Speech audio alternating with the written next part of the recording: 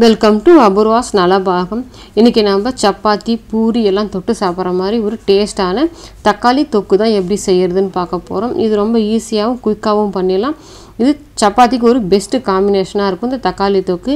வாங்க அந்த தக்காளி தொக்கு எப்படி செய்யலான்றதை பார்க்கலாம். என்னோடய சேனலை ஏற்கனவே சாஃப்டான லேயர் சப்பாத்தி எப்படி செய்கிறது நல்லா புஷ்ஷுன்னு பூரி எப்படி செய்கிறதுன்ற வீடியோ போட்டிருக்கேன். அதோடய லிங்க் நான் டிஸ்கிரிப்ஷனில் கொடுக்குறேன். அதையும் பாருங்கள் இப்போ தக்காளி தொக்கு செய்கிறதுக்கு நான் ஒரு கடாயில் ஒரு மூணு ஸ்பூன் அளவுக்கு எண்ணெய் ஊற்றி வச்சுருக்கேன். எண்ணெய் காஞ்சிடுச்சு. இதில் ஒரு முக்கால் ஸ்பூன் அளவுக்கு கடுகு சேர்த்துக்கிறேன். கடுகு நல்லா பொரிஞ்சிடுச்சு. இப்போ ஒரு ஸ்பூன் அளவுக்கு உளுத்தம்பருப்பு சேர்த்துக்கிறேன். உளுத்தம்பருப்பு நல்லா செவந்து வரணும். இப்போ உளுத்தம்பருப்பு செவந்துடுச்சு. ஒரு கொத்து கருவேப்பிலை சேர்த்துக்கிறேன் அதுலேயே.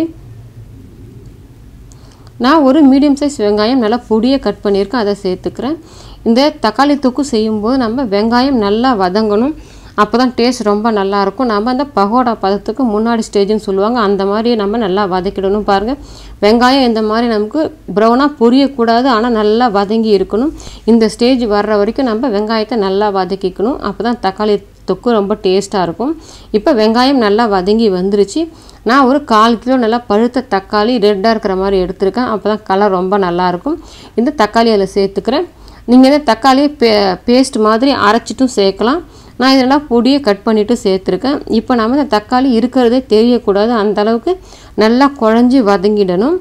இப்போ இந்த தக்காளி தொக்குக்கு தேவையான அளவுக்கு உப்பு சேர்த்துக்கிறேன். நம்ம இப்போ உப்பு சேர்த்துட்டோம்னா சீக்கிரமாகவே தக்காளி நல்லா குழஞ்சி வதங்கி வந்துடும் இப்போ நம்ம தக்காளியை நல்லா குழைவாக வதக்கி எடுத்துக்கலாம். இந்த தக்காளி தொக்கு ரொம்ப ஈஸியாக இருக்கும். ரொம்ப குயிக்காகவும் பண்ணிடலாம். நம்ம அர்ஜென்ட்டுக்கு செய்யணுன்னா கூட லஞ்ச் பாக்ஸுக்கு கூட நம்ம சைட் டிஷ்ஷாக கொடுத்து விடலாம். பா தக்காளி நல்லா மசிஞ்சு வதங்கி வந்துருச்சு. நம்ம போட்டிருந்த எண்ணெயும் கொஞ்சம் பிரிஞ்சு வர ஆரம்பிச்சிருச்சு. இந்த அளவுக்கு நம்ம தக்காளி நல்லா வதக்கிக்கணும். இப்போ நம்ம மசாலாவெல்லாம் சேர்த்துக்கலாம். நான் இதில் வீட்டில் அரைச்ச குழம்பு மிளகாத்தூள் ஒரு ஒன்றரை ஸ்பூன் சேர்த்துக்கிறேன். நீங்கள் உங்கள் காரத்துக்கு தகுந்த மாதிரி சேர்த்துக்கோங்க. ஒரு சின்ன ஸ்பூனில் ஒரு அரை ஸ்பூன் அளவுக்கு மஞ்சத்தூள் சேர்த்துக்கிறேன். நான் இது காஷ்மீரி மிளகாத்தூள் ஒரு ஸ்பூன் சேர்த்துக்கிறேன். இது காரம் இருக்காது கலருக்காக மட்டும்தான் சேர்த்துக்கிறேன். இதை சேர்த்துட்டு நம்ம நல்லா அந்த பச்சை வாசனை போக நல்லா வதக்கி விட்டுடலாம். இப்போ நல்லா பச்சை வாசனை போக நல்லா வதக்கிட்டேன். இப்போ நம்ம அந்த புளிப்பு காரம் எல்லாம் பேலன்ஸ் பண்ணுறதுக்காக ஒரு அரை ஸ்பூன் அளவுக்கு நான் சர்க்கரை சேர்த்துக்கிறேன். இது ஆப்ஷனல் தான். உங்களுக்கு சர்க்கரை டேஸ்ட்டு பிடிக்கலன்னு நீங்கள் சர்க்கரைக்கு பதில் வெல்லம் கூட சேர்த்துக்கலாம். இது ரெண்டுமே வேணாம்னா நீங்கள் அந்த புளிப்பு டேஸ்ட்டு பிடிக்கும்னா நீங்கள் இதை சேர்க்காம கூட செஞ்சுக்கலாம். நம்ம அந்த சர்க்கரை சேர்த்தோம்னா தான் கொஞ்சம் நல்லா எக்ஸ்ட்ரா டேஸ்ட்டாக இருக்கும். இப்போ நான் தக்காளி தொக்குக்கு கொஞ்சமாக தண்ணி சேர்த்துக்கிறேன். ஜாஸ்தி வேண்டாம். இப்போ நம்ம தண்ணி சேர்த்துட்டு மிக்ஸ் பண்ணி விட்டுடலாம்.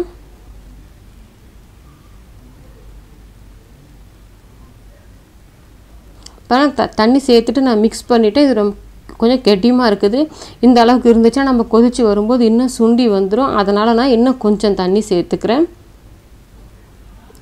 நான் இப்போ தண்ணி சேர்த்துட்டு மிக்ஸ் பண்ணிவிட்டு இந்த ஸ்டேஜில் நாம் உப்பு காரம் செக் பண்ணிக்கிட்டு பத்தலைனா கூட ஆட் பண்ணிக்கலாம். இது நல்லா கொதித்து வரட்டும்.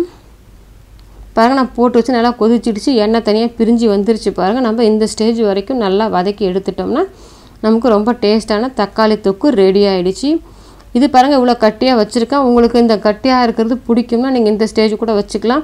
இல்லை இன்னும் கொஞ்சம் ட்ரையாக வேணும்னாக்கா நீங்கள் இன்னும் கொஞ்சம் நேரம் ஒரு அஞ்சு நிமிஷம் வச்சுருந்து கூட வதக்கி எடுத்துக்கலாம். இப்போ நமக்கு ரொம்ப டேஸ்ட்டான சப்பாத்திக்கு தொட்டு சாப்பிட்ற மாதிரி தக்காளி தொக்கு ரெடி ஆகிடுச்சு நீங்களும் உங்கள் வீட்டில் ட்ரை பண்ணி பாருங்கள் ட்ரை பண்ணி பார்த்துட்டு எப்படி வந்ததுன்றதை கமெண்ட் செக்ஷனில் சொல்லுங்கள் லைக் பண்ணுங்கள் ஷேர் பண்ணுங்கள் அபூர்வ நலபாகத்துக்கு சப்ஸ்கிரைப் பண்ணுங்கள் கூடவே பெல் பட்டனையும் கிளிக் பண்ணுங்கள் அப்போ தான் அப்லோட்ஸ் எல்லாம் உங்களுக்கு உடனடியாக கிடைக்கும்.